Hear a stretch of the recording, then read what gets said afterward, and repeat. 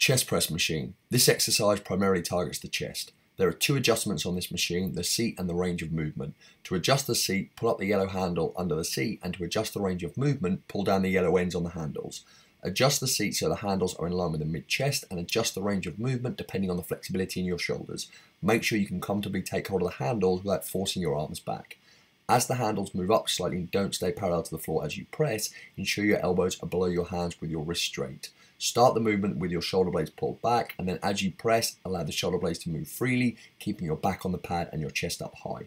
As you press, focus on touching your elbows together, which will help recruit the chest muscles.